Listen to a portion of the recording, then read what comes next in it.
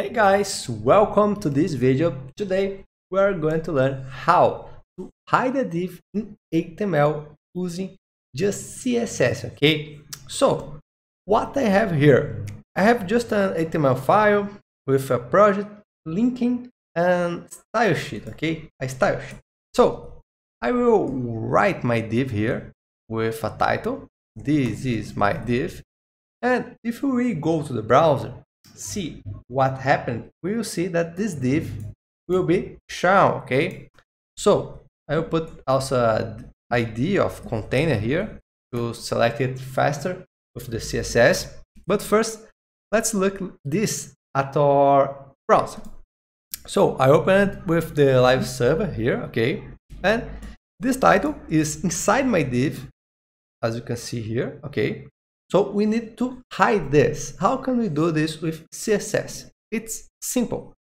In CSS, we have a property called display. So I will select my element here with the ID, with its ID of container, and I will write a property here. I will set a property of display. You can set a value of none, okay? So display none means that our element, our div, is invisible to the user that enter in our website. As you can see here, the element is here, okay, but is invisible, is hide, because we have this rule here. If we remove this rule here, you can see that the div is visible again, okay. So that is what we need. Just need to put uh, or insert a new property called display with the value of none, and this is done. Our div is invisible we hide it our div. The div is not available anymore for the users that enter in our website.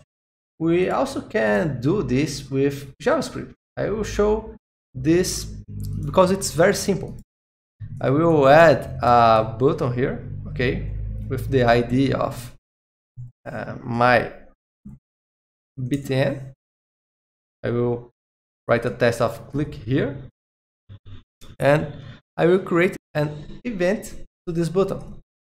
I will put here in the bottom of our HTML just for our, little example and I will select that button with the document dot selector of my btn and I will add an event to this btn of click and after that, we will do something in this function here, okay? So what we need to do here, we need to select our div, can do outside the function, container equals document, querySelector, container. And here you can do an if else, okay? If container style display. This will give us access to the value of the property and we will check if it is equal to block, that is the default value. And if it is, we will put a new value. We will override this value and we will set to none. That is what we put in the CSS rule, okay?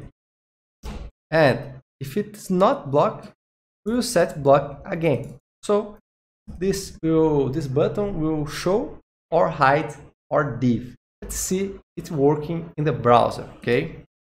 So this is my button, and if I click, the div is visible again. And if I click again, the div is invisible. So we can do this a lot of approaches. I have showed you two ways, okay, to hide the div with CSS and with JavaScript. And now you need to choose which one is better for your case, okay? So guys, hope you enjoyed the video and see you the next one.